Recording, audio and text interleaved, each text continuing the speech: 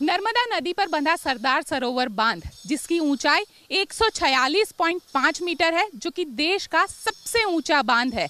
और वहीं से ये सड़क जो आप देख रहे हैं, उसी सड़क के ज़रिए सरदार पटेल की सबसे बड़ी प्रतिमा पर पहुँचा जाएगा, जिसकी किलोमीटर है 3.2 यानी यहाँ से सरदार सरोवर की जो रास्ता है, वो करीब 3.2 किलोमीटर है, और सरदार पटेल की ये सबसे बड़ी प्रतिमा जो यहाँ पे नर्मदा नदी के किनारे पे साधु बेल्ट पे बनाई गई है।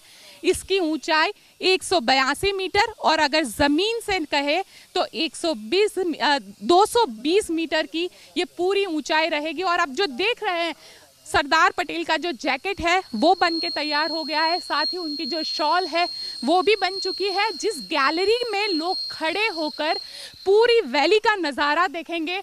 वो नज़ारा, वो जो प्लेटफॉर्म है, वो भी अब बन चुका है और अब सरदार पटेल का जो सर है, वो लगाने का काम शुरू हो जाएगा।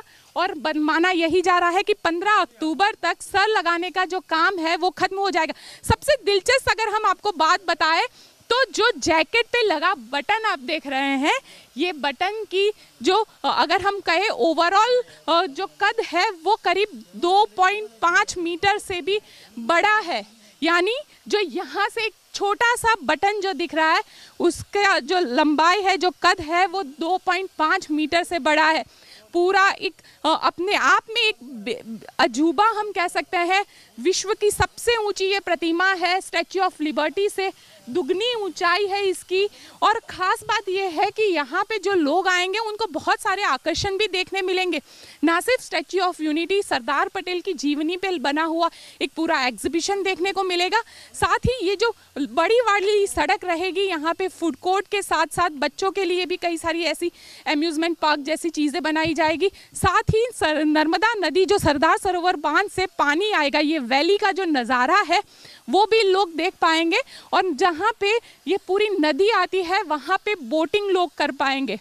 और काफ़ी सारा ये प्रधानमंत्री का ड्रीम प्रोजेक्ट था, इसकी नींव जो है, वो 2013 में खुद प्रधानमंत्री ने रखी थी और अब 2019 में इसका इनोग्रल खास करके 2000 अभी अक्टूबर में इसका इनोग्रल किया जाएगा और 2019 का जो चुनाव आ रहा है, उसके लिए एक सबसे बड़ा चुनावी मुद्दा होगा, क्योंकि प्रधानमंत्री नरेंद्र मोदी के लिए ये कहा जाता है कि वो जो चीज़ की नींव रखते हैं, जिस प्रोजेक्ट की नींव वो रखते हैं, उसी प्रोजेक्ट का इनोग्रल भी वो खुद ही करते हैं।